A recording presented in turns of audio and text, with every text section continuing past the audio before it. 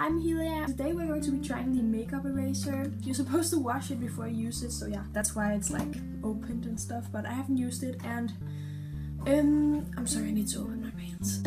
it's rare that I have like a full face of makeup on, so I just wanted to do this first impressions now and see if it actually works. Uh, yeah, I, I did a first impressions. I'll link it here or here, I don't know, in the cards. And uh, yeah, you can watch that. It's probably a really long video. So this is just 100% like polyester.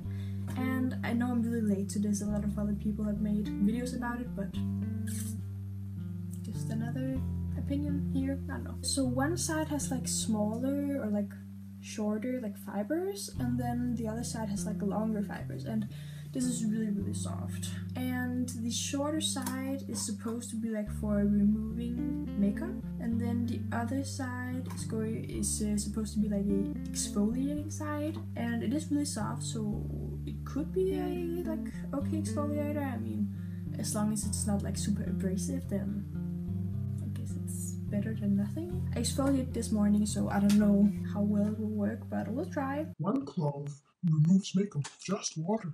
So yeah, you're just supposed to wet it and then like rub in circular motions and um, yeah, let's try. I have mascara on, I have some eyeliner on my waterline, which I don't know if I can get off with this. Then I have some glitter, I have the Anastasia Brow Wiz on, I have some concealer and some powder and some uh, all-nighter spray on and yeah, let's just try and see if this works. So yeah, I just have like a bowl with warm water here. Okay, let's just try like here. So circular motions. I mean, I don't have that much makeup on, but ooh, I mean, it's on there. I think this needs to be a bit more wet.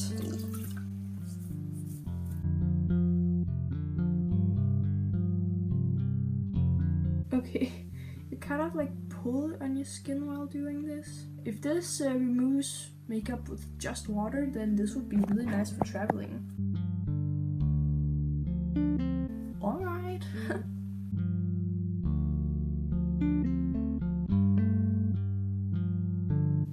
well, it removed my mascara on the bottom lash line, but I mean, think I could do that with just water and a cotton pad. It kind of hurts if like you rub it the same place like over and over again. It doesn't feel like too rough on like my eyes or anything and whoa there, there was some mascara. This is the Too Faced Better Than Sex and I think it's almost like waterproof so I don't know if this can like get it off but I feel like it's doing a, quite a good job. I mean look at that. Okay let's just do it like this. So here's a clean like little part of it and then let's just like rub let's see if it yeah I feel like actually there's no more mascara on there.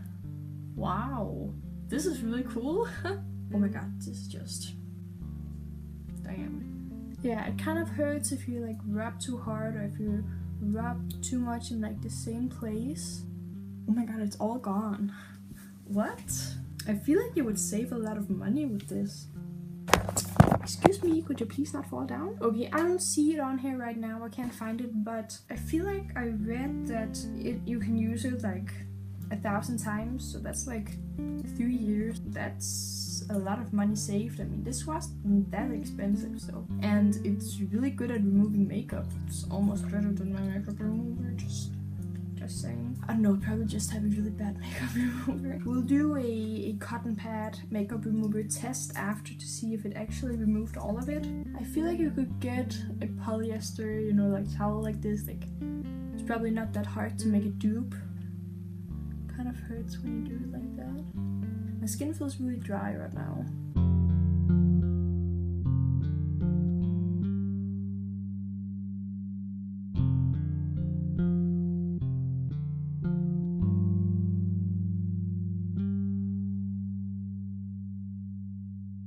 I feel like this would work really nicely with my Ole Henriksen, like, I don't know if it's like a 3-in-1, I'll put up a picture. It's like this cleansing balm oil gel thing, and it's really nice. You just put it on your skin like dry, just on top of your makeup, and rub it in, and then you just, I know, you could take like a washcloth and like just wipe it off with some warm water. But I feel like if you use this and that gel thing, it would work just really nicely because that just removes makeup like that. Okay, I lost some eyelashes, but didn't lose that much, that many.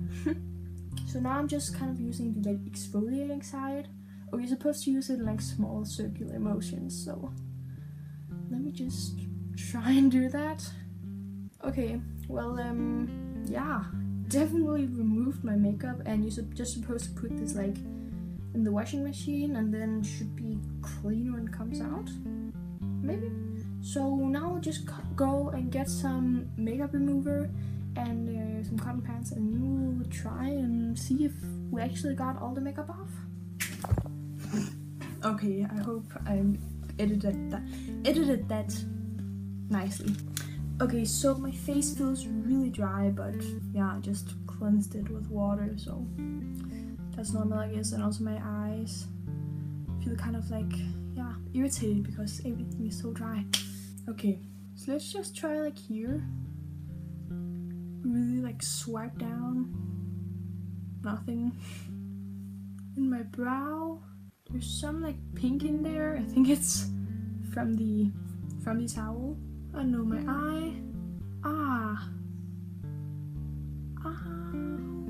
It's like there's something that stings right here. How the fuck did it get all of the mascara off?